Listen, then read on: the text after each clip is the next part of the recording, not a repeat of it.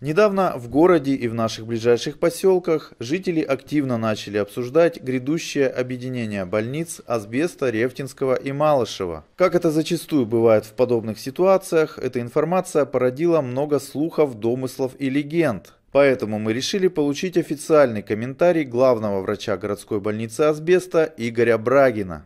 Все новое, хорошо забытое старое. А, а из этой оперы я хочу сказать, что в ближайшее время к нам а, будут присоединены Рефтинские и Малышевские больницы. Единственное, что будет изменено, это название. Никаких изменений в медицинских структурах этих больниц сделано не будет. Если будут, только в хорошую сторону. Какие отделения работали, так и останутся работать. Будет изменена только подчиненность этих больниц. Они будут подчиняться межмуниципальному центру напрямую. Напомню, что мы с 2011 года работаем как межмуниципальный центр.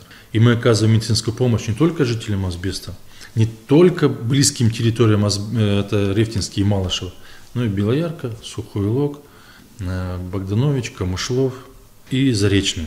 Поэтому наш коечный фонд рассчитан именно на это количество людей, которые проживают в данных населенных пунктах.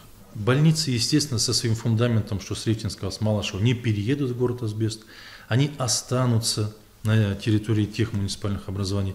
Более того, а, и жителям Рефтинского, и жителям Малышева будут определенные плюсы.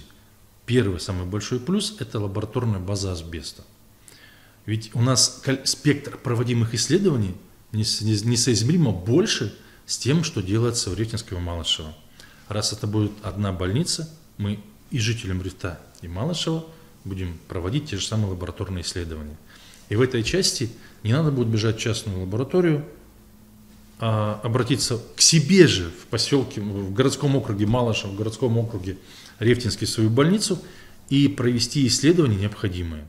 Отметим, что присоединение больниц к межмуниципальному центру асбеста не единственное в нашем регионе. В других городах также проходят такие объединения. Это скорее связано с реформированием управления в нашей медицине хочется все-таки сказать и подчеркнуть особо. Никакая больница, никакой ФАП закрыты не будут.